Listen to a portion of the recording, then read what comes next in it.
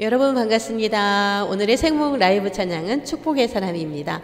여러분은 하나님께서 너무너무 사랑하시는 축복의 사람들이죠. 주님의 그 사랑과 축복 가운데 오늘 하루도 행복한 하루 되시기를 소망합니다.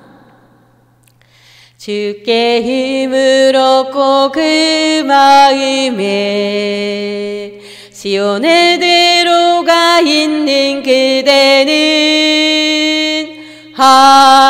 하나님의 축복의 사람이죠.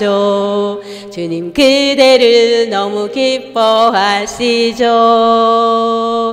주의 집에 거하기를 사모하고 주를 항상 찬송하는 그대는 하나님의 축복의 사람이죠.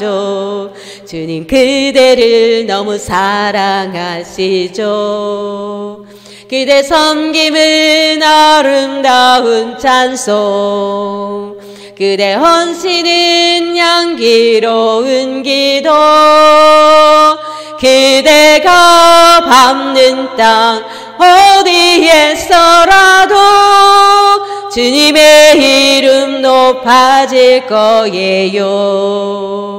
그대 섬김은 아름다운 찬송 그대 헌신은 향기로운 기도 그대가 밟는 땅 어디에서라도 주님의 이름 높아질 거예요.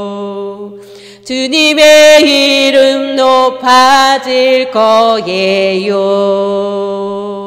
여러분, 사랑하고 축복합니다. 여러분은 하나님의 사람들입니다. 아멘.